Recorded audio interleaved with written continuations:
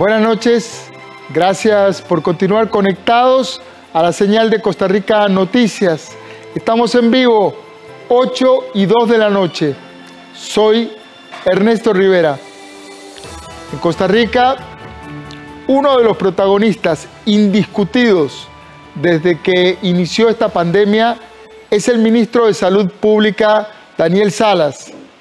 Su imagen y su voz han estado presentes en millones de televisores y teléfonos celulares durante casi todos los mediodías, desde marzo hasta hoy. Durante casi cinco meses, sus reportes epidemiológicos diarios y las reglas nacionales que dispuso para contener la propagación del virus despiertan fuertes sentimientos. Desde una adhesión inicial casi masiva, que aceptó sus criterios técnicos sin discusiones ni controversias, hasta un presente de opiniones divididas, con gente muy molesta y grupos empresariales, alcaldes y ciudadanos presionando fuertemente contra los cierres y las restricciones que les imponen las alertas sanitarias. Escuchar al doctor Salas es para la mayoría de los costarricenses algo común y cotidiano. Sin embargo, conversar con él es poco usual. Esta noche tenemos la oportunidad de conversar con él de una manera diferente a las conferencias de prensa. Buenas noches, eh, don Daniel, doctor Salas. Bienvenido al set de Costa Rica Noticias. Buenas noches, don Ernesto. Un gusto estar acá compartiendo con usted y con toda la audiencia. Doctor, todo el mundo escucha sus reportes y comentarios en la conferencia de prensa de los mediodías, pero fuera de eso, usted casi no da entrevistas. Incluso hay quien dice que su equipo lo tiene muy resguardado, casi secuestrado. Eh, ¿Qué dice usted a esa a esas afirmaciones o esa idea? No, no, eh, más bien es un asunto de que yo tengo secuestrado el equipo porque el trabajo es muy intenso, el trabajo es muy fuerte, hay que estar pendiente de demasiadas cosas de coordinación, de estar dándole seguimiento a acuerdos, de estar coordinando con diferentes grupos. Es de verdad que vivir una, una pandemia como esta, de un trasfondo sanitario para de cualquier ministro de salud, de cualquier ministerio de salud, secretaría de salud, como, como quieran llamarlo, va a ser algo extra, extra demandante de lo que es normalmente esa, ese rol, ¿verdad? Porque sabemos que obviamente pues la salud está en múltiples asuntos, en múltiples aristas, pero esto es muy, muy, muy demandante. Hay que estar totalmente atento a la coordinación y estar haciendo que las cosas pues avancen de la mejor forma posible. Don Daniel, usted es un médico epidemiólogo, un funcionario de carrera del Ministerio de Salud, no es un político, pero de pronto a los 43 años le tocó poner literalmente la cara a una de las circunstancias más graves y delicadas que ha vivido el país. ¿Cómo se lleva esa hiperexposición pública que tiene ahora? La gente incluso está pendiente de si usted tiene cara de cansado, si se lo ve deprimido, si tiene la corbata torcida. ¿Cómo, cómo vive esto estar expuesto todo el tiempo al escrutinio público?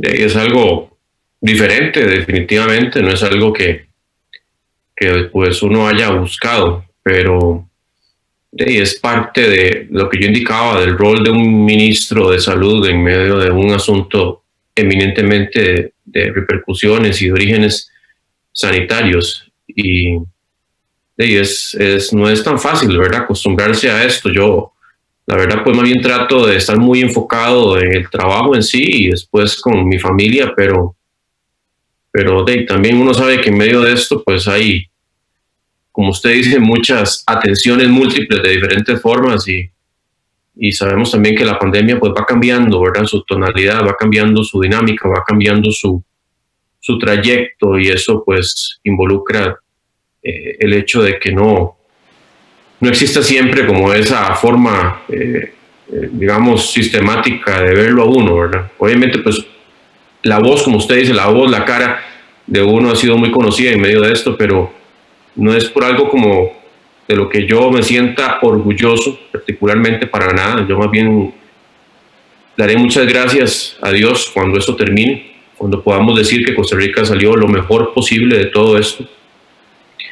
Y cuando ya pues dejen de escucharme tan seguido, en el sentido de que eh, queremos que esto ya termine. Sabemos que todavía faltan meses, sabemos que faltan todavía un trayecto importante hasta que se alcance, pues posiblemente la, la, la opción de la vacuna, ¿verdad? Pero, pero que claro que es algo que es nuevo para mí y que ha sido adecuarme algo que yo ni siquiera esperaba, ¿verdad? ni lo había buscado. Esto vino por pues, pues, asuntos ya propios del cargo y en medio de una pandemia que nadie previó, nadie pudo decir, ¿verdad? si en el 2020 ya venía la pandemia, ¿verdad? ministro Salas lo asumió porque él sabía que venía jamás. Eh, doctor, eh, incluso ahora que usted habla de los tiempos, en las, en las charlas iniciales que usted dio cuando empezó a explicar mm, inicialmente lo que se venía, lo que se sabía en aquel momento, en, en aquellas primeras conferencias en marzo, eh, usted fue graduando con mucha, diría yo, habilidad, ahora usted me corrige si, si fue habilidad o, qué fue, eh, el tema de los tiempos. Eh, en principio se hablaba de días, después se empezó a hablar de semanas y usted ahora acaba de tirar arriba de la mesa la palabra meses y que es lo que todos estamos previendo y anticipando. Pero este, este, eh, este, esta manera de trasladar eh, el tiempo que esto iba a durar fue, fue pensado, fue calculado, fue parte de una estrategia o, fue parte de la sorpresa de encontrarse en el medio de una, de una pandemia para usted también? Es que en esto hemos ido conociendo muchísimo. La mayoría de la información que tenemos ahora hace en marzo no estaba disponible. Y conforme el virus se ha ido conociendo, hemos ido viendo, por ejemplo, estudios donde en algún momento se pensaba que la inmunidad de rebaño que es la inmunidad que se consigue cuando un 60, un 70% de la población ya tiene anticuerpos, tiene defensas efectivas contra el virus, no se sabía qué tan rápido se iba a alcanzar. Entonces, sí sabíamos que iba a tratarse de varios meses, eh, que no iba a ser tampoco de dos semanas, pero hasta que ya se empezaron a ver estudios en otros países como España, eh, como Suecia, donde ha habido una eh, circulación bastante importante del virus y se veía que los anticuerpos alcanzaban un 5, 7%, ¿verdad? Y uno esperando que fuera un 60, un 70% o cercano. Eh, entonces uno se da cuenta que esto pues iba para más tiempo y como yo indico, no ha habido ningún país, es normal, ¿verdad? En medio de una pandemia que no, no tenemos precedentes, un coronavirus que ataca al mundo de esta forma, no había forma de, estimar, ¿verdad? Y de decir esto iban a ser tres meses, iban a ser cuatro meses, iban a ser cinco meses. Lo que sí está claro ahora es que pues las olas están amenazando a todo el mundo, las siguientes olas subsecuentes, donde ya muchos países han logrado salir de la situación eh, inicial, pero al haber mucha gente que no ha contraído el virus, que no se ha expuesto al virus, existe ese riesgo de brotes o rebrotes o nuevas olas que llevan a que esto se extienda en el tiempo. Y por eso es que decimos que posiblemente hasta que no haya o un tratamiento altamente eficaz y muy accesible, o la vacuna en sí, o la inmunidad de rebaño, pues decir que esto se va a acabar todavía no es, no es algo real, no es algo ¿verdad? que no pueda decir. La incertidumbre es uno de, las, de los elementos más difíciles con los que estamos lidiando, esa incertidumbre, eh, este, esta sensación de no saber cuándo esto se termina. Las decisiones, doctor, que, que usted toma, que toma el equipo de salud, pero que usted lidera, tienen consecuencias para millones de personas en Costa Rica. Es cierto que usted no maneja la política económica, pero hoy su criterio médico tiene un impacto decisivo en la economía y el gobierno está recibiendo muchas críticas por eso. Se agotó el modelo de comunicación que aplicaron al inicio, falta transparencia al comunicar las decisiones. No, Ernesto, yo he seguido noticias a nivel internacional y esto que usted indica, donde hay reclamos, donde hay manifestaciones, donde hay este, pues, disconformidades por parte de un sector de la población que uno entiende uno entiende lo doloroso que es el hecho de tener un negocio y no, no poder trabajar. O sea, eso, es algo que es, es frustrante. Yo, yo, créanme que pues no, no, he vivido esa situación, no puedo decir que, que, lo, que lo he sentido por, por cabeza propia, pero debe ser algo desesperante. Y yo en eso no, no quiero tampoco minimizar y decir que es que lo reclaman o que están levantando sus voces sin razón. Pero lo cierto es que esto se está dando en todo el mundo. Países desarrollados, países en vías de desarrollo, países que uno diría de no, o sea, aquí ya el entendimiento de lo que ha pasado es más fuerte y no, se está dando en todo, en todo el mundo, es un fenómeno global, tal como lo es una pandemia de estas. Y lo que sí es claro es que ya muchas autoridades internacionales han indicado que, que en la medida que lo, lo sanitario, o sea, que no hayan decenas o cientos de muertes en cuestión de una semana, esté compensado, lo demás tiene más oportunidades de seguir adelante. Y es que es difícil, ¿verdad? En los países donde ya la gente se está muriendo no por COVID, se está muriendo por, por un infarto y que ocupa una unidad de cuidados intensivos y no está disponible. Gente que se está muriendo porque tuvo un accidente de tránsito y ocupa la unidad de cuidados intensivos y no está disponible. En ese momento la gente no quiere salir a ningún lado, hacer ninguna actividad, hacer o sea, el, miedo que se apodera de la gente al saber que cualquier cosa que le puede pasar y que los servicios están colapsados es tan fuerte que la gente no, no quiere hacer actividad comercial. Entonces en eso, créame que yo entiendo mucho los, los reclamos, o sea, desde el punto de vista de que hay mucha frustración en medio de todo esto, pero lo cierto es que si lo sanitario no se controla, es lo que yo indicaba, lo demás no tiene oportunidad de, de surgir, ¿verdad? Entonces tenemos que encontrar esa forma de, buscar un equilibrio que no es absoluto ni es perfecto, pero lo más cercano posible.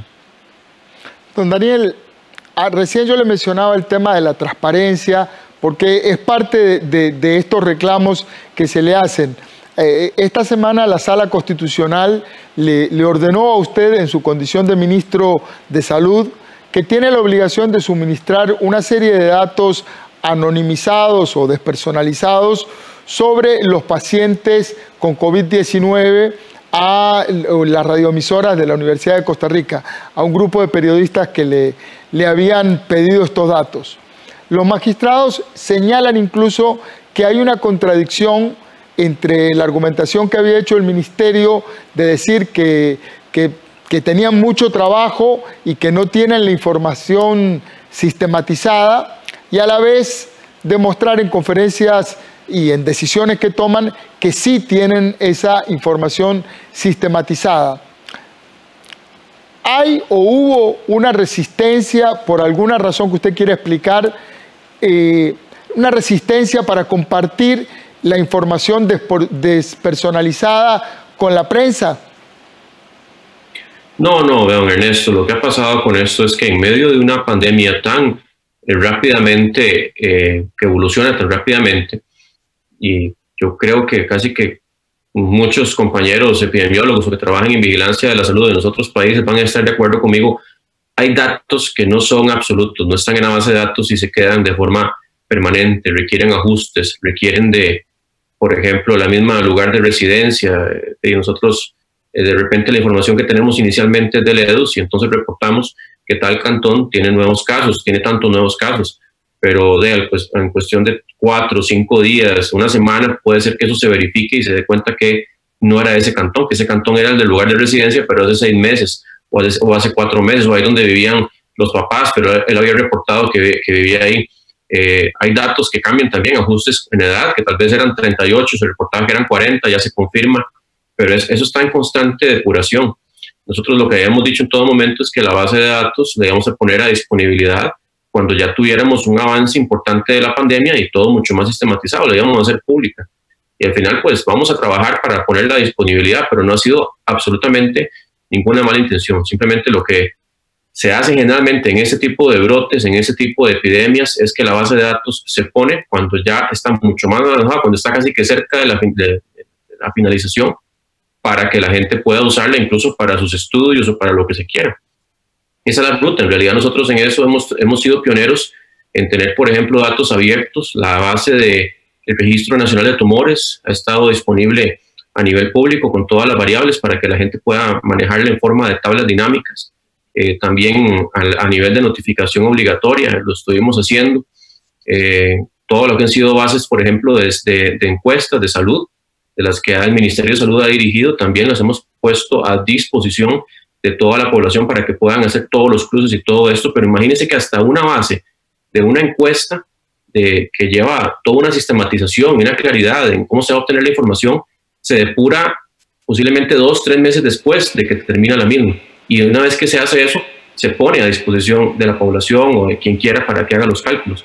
No ha habido ninguna mala intención ni falta de transparencia, simplemente hemos querido tener la información lo más completa, clara y consolidada posible, depurada, para que no hayan problemas de que dicen, es que en, esta versión de la base venían 35 de San Ramón y en la, que sigue resulta que la misma fecha habían 31, habían 29. Eso pasa justamente porque hay depuración de datos, porque hay investigación. Pero eso es más que todo, por eso es el, el asunto que estamos hablando.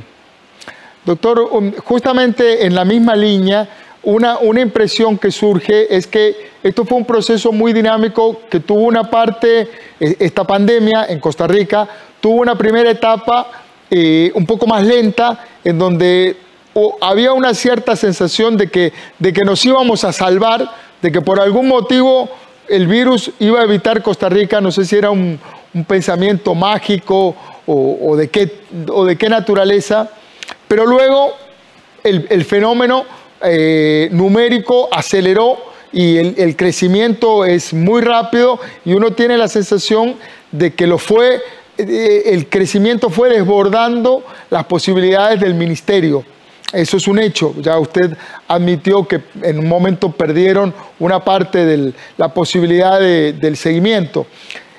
Ahora, una, una, situación como esta y una tarea como la que ustedes están haciendo, tan importante, tan fundamental para el resto del país, para la economía, para todo, no, no requiere una respuesta más rápida y si hay que contratar 20 personas, 100 personas, 200 personas, hay que contratarlas para que sigan el rastro epidemiológico o para que armen las tablas o para que depuren los números, eh, para que incluso tengan un apoyo gráfico mejor que el que tienen hoy cuando hacen las conferencias de prensa, que a veces es un poco confuso.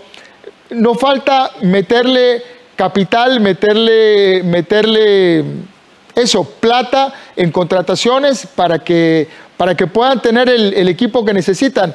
El país no tiene otra tarea más importante hoy que la que ustedes están haciendo.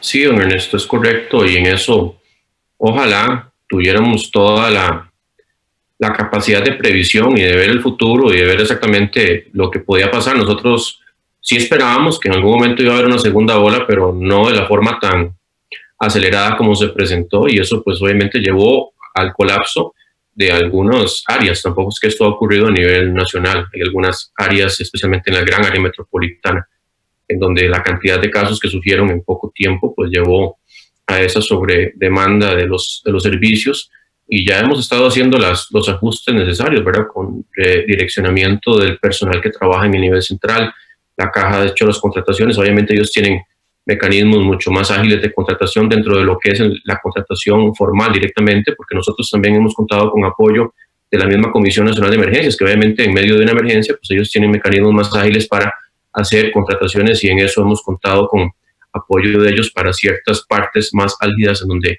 hemos logrado tener ese, ese apoyo de la Comisión de Emergencias.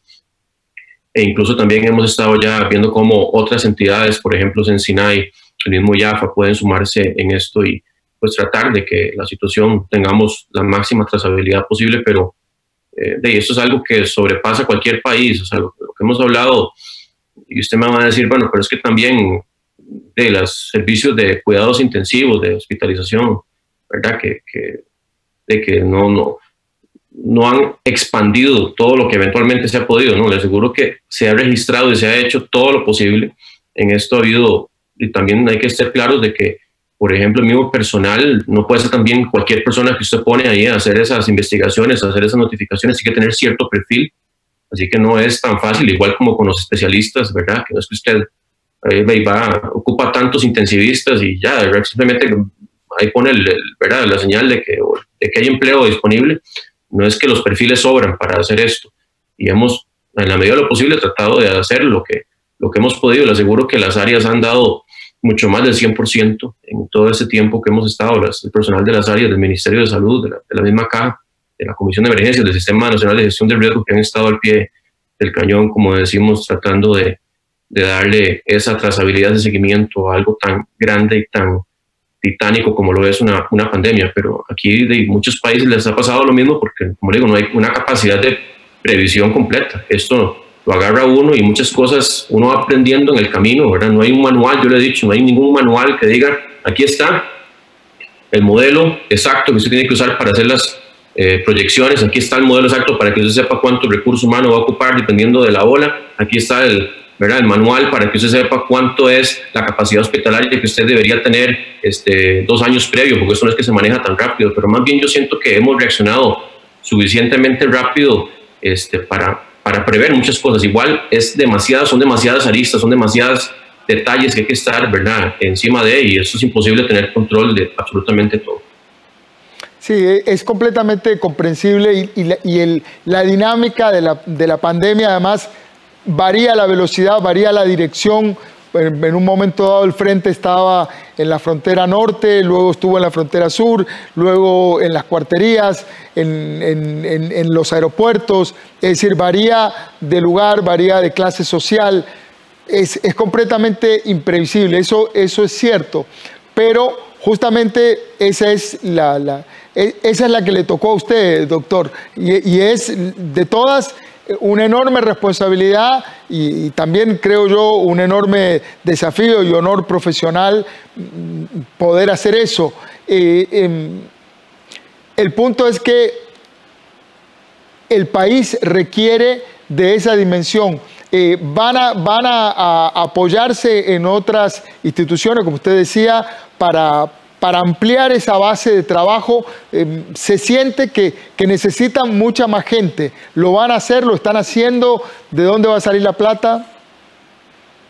Ya hemos encontrado incluso, no solamente a nivel de personal, el aumento de personal, hay mecanismos como lo que ha sido, por ejemplo, que la caja que ya ha estado haciendo los ajustes necesarios y firmamos el convenio para que puedan hacer notificaciones de órdenes sanitarias para de una vez que la persona se le toma una muestra y eso nos quita una parte muy importante de, carga en ese sentido, porque la mayoría, aquí lo complicado en realidad, obviamente los casos, en el momento que se aceleran eh, de una forma muy importante, pues los casos positivos representan un reto per se, pero lo que más representa el reto son los contactos cercanos, los contactos directos de esas personas que se van reportando como positivas, porque imagínense que por cada persona que se detecta, eh, positiva, y se generan 5, 10, a veces hasta 15 contactos directos, que son los que también requieren de una orden sanitaria para el aislamiento.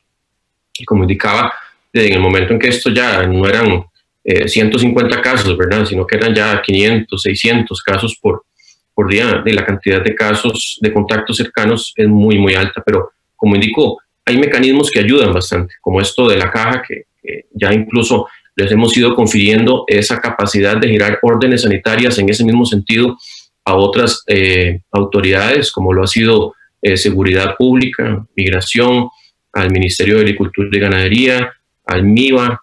Eh, hemos estado trabajando también con justicia y ahora ya se suma la caja y como le digo, es parte de, de todas las estrategias que tenemos que echar mano para la misma notificación electrónica que la Ley General de Salud no la permitía. hicimos la modificación para que se pudiera hacer el giro de la orden sanitaria vía correo electrónico.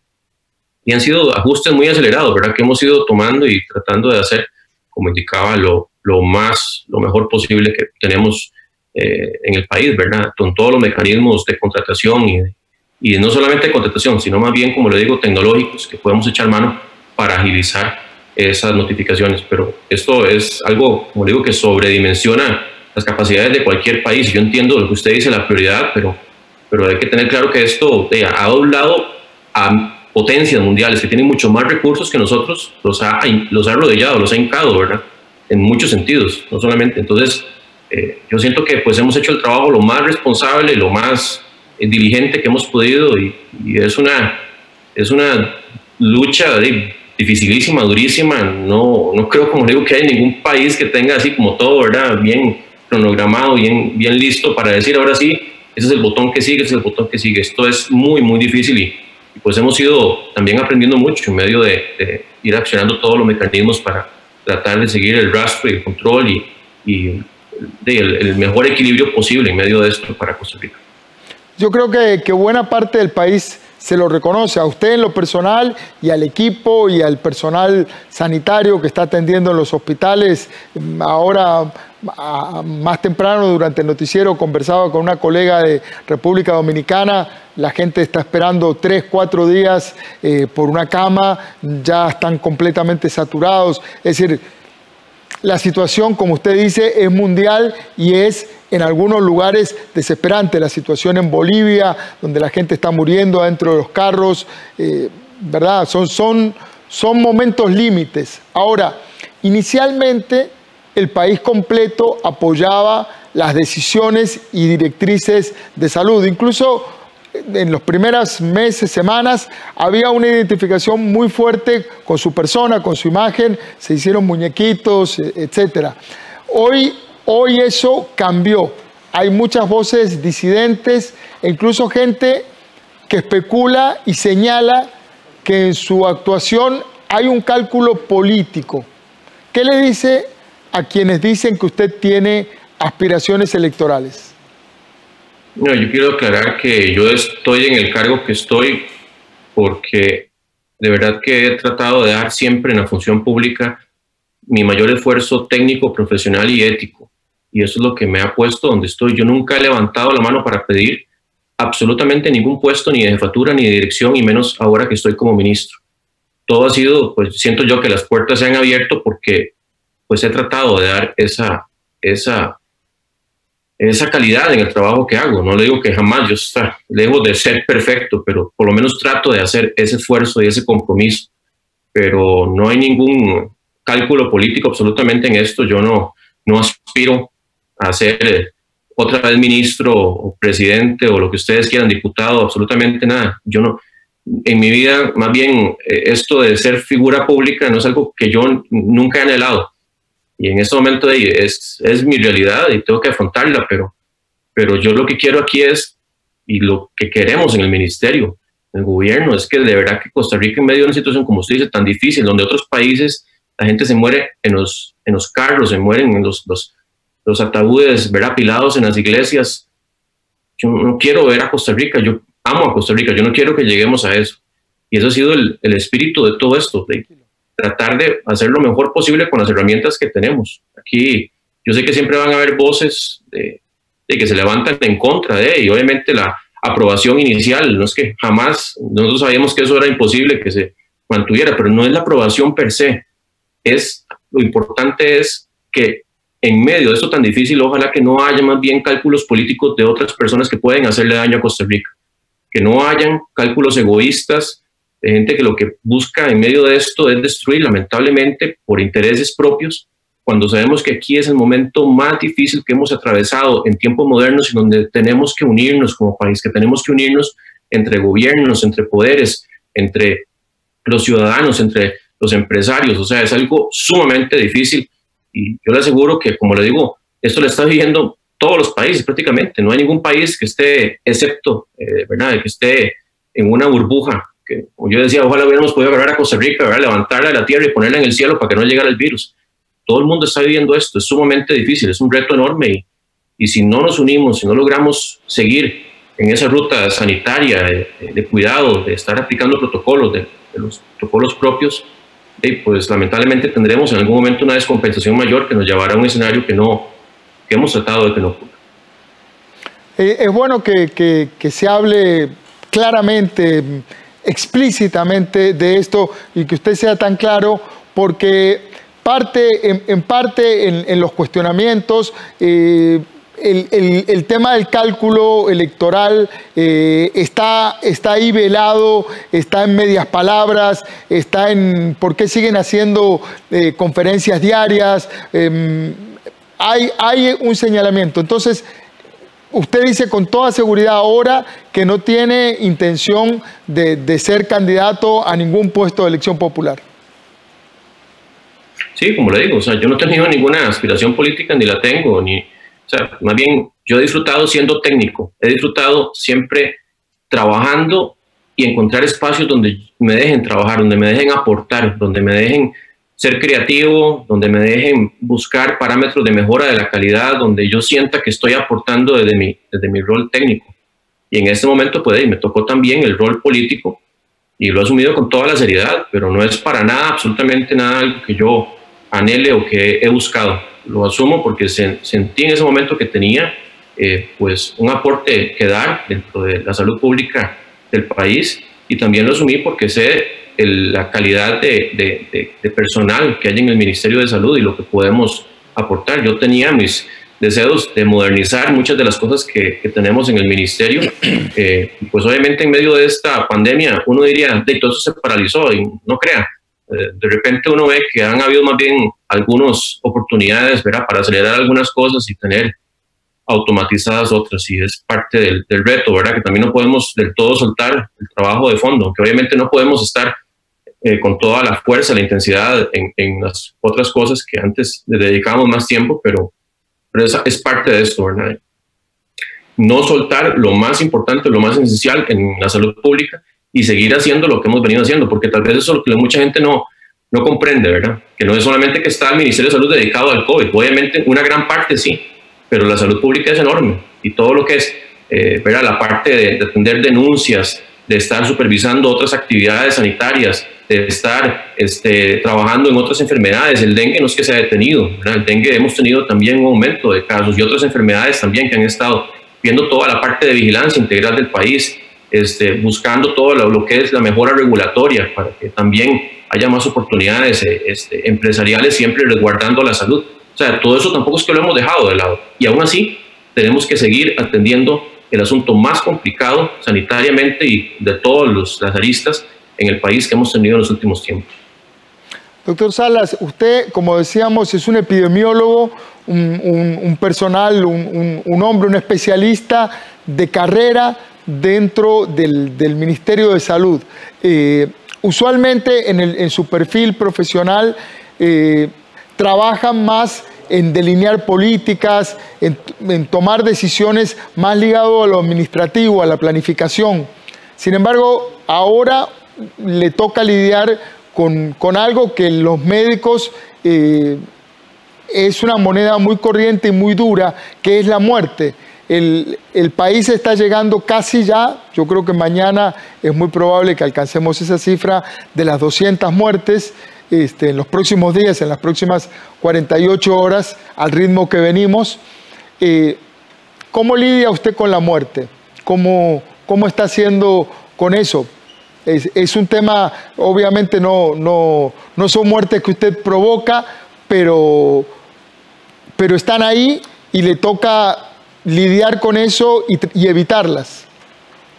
en esto, para ser muy sincero, don Ernesto, desde que empezó la, antes incluso de que llegara el virus, que nosotros habíamos dicho claramente va a llegar en algún momento, no podíamos cerrar fronteras y que esto no llegara, eso era totalmente algo iluso, pero sabíamos y nuestro objetivo ha sido en todo momento que exista la menor cantidad posible de muertes asociadas al COVID-19 y cuando digo asociadas al COVID-19 no es solamente por el virus, es porque si hay colapso de los servicios y de las UCIs, como indicaba, los casos graves por otras enfermedades, por otros eventos de salud, no van a tener campo en las unidades de cuidados intensivos.